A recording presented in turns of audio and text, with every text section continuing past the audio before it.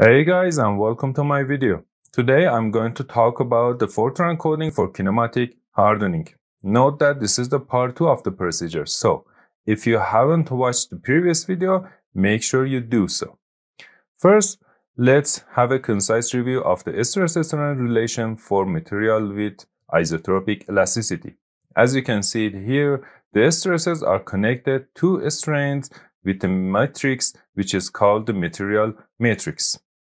Lambda and g are the Lamés coefficients. Note that we are using epsilon instead of gammas. In other words, we are not using the engineering strains.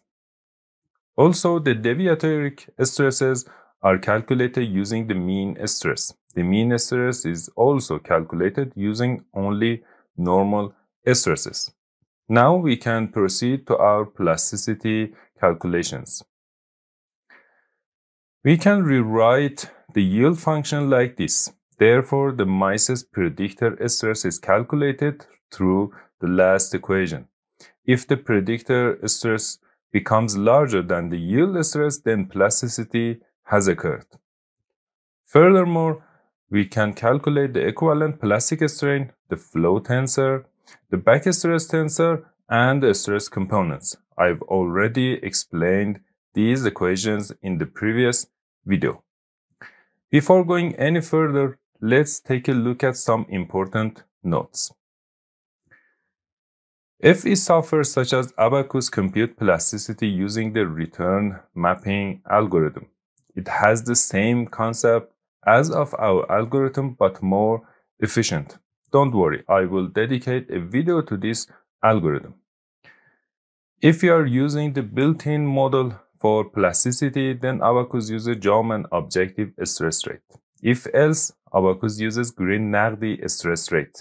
Generally, the results will not be the same. Also, there is no need for stress rotation since explicit analysis uses co-rotational framework. It means the basis system is rotating during analysis. Now, let's write the Fortran code for kinematic hardening.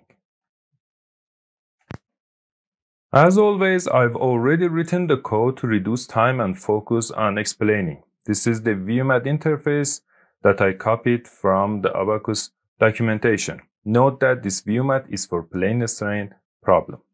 First, some parameters 0, 1, 2, 3, and 6, and some known constants E, Poisson ratio, yield stress, and slope of plastic curve.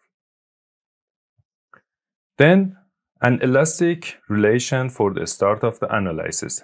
This you can find in Abaqus documentation.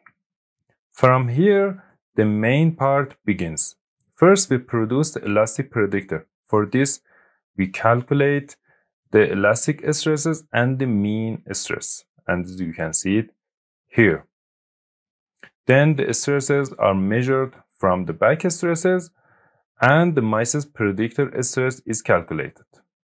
Let me explain this part.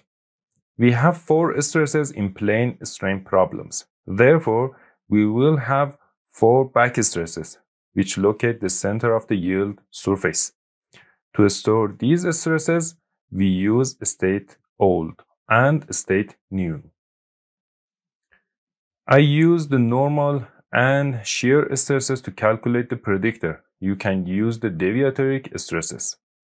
If plasticity has occurred, we calculate the equivalent plastic strain, the flow tensor, and the updated alphas. State old is the alpha 0 from previous step and state new is the updated alphas. Finally, we calculate the new stress components. Also, if the material is in elastic range, the calculated elastic stresses will not change. As you have already seen, this VUMAT is pretty simple and straightforward. Next, I will illustrate how we can use this VUMAT in Abaqus CAE and compare the results with the plasticity model that is built in in Abaqus. I've prepared an example for illustrations. Here is the plane strain problem. Model 1 on the left uses the built-in plastic model and the other one uses the VUMAT which is written in the previous section. Let me show you the material properties for both models. As you can see it here, we used kinematic hardening with perfect plasticity. For the VUMAT, I've used the same configuration. Note that since we have used four states, we should specify the number 4 in depvars.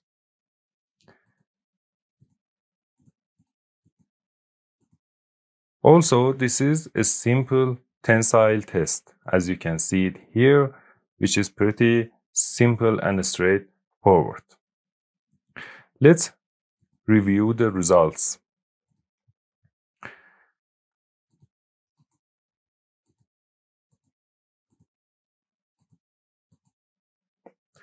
As you can see it here, the Mises stresses are completely the same. And if we compare the reaction forces for two models,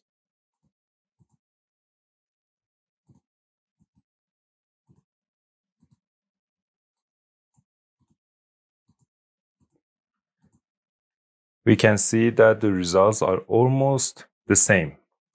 This concludes our video. If you have found this video useful, please support me by liking and subscribing to my channel. Take care.